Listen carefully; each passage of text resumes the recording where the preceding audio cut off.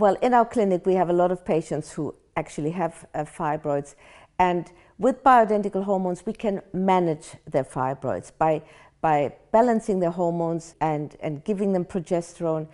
Uh, we can help in managing the fibroids that the fibroids don't grow. And as a result of fibroids, often they have a dysfunctional bleeding.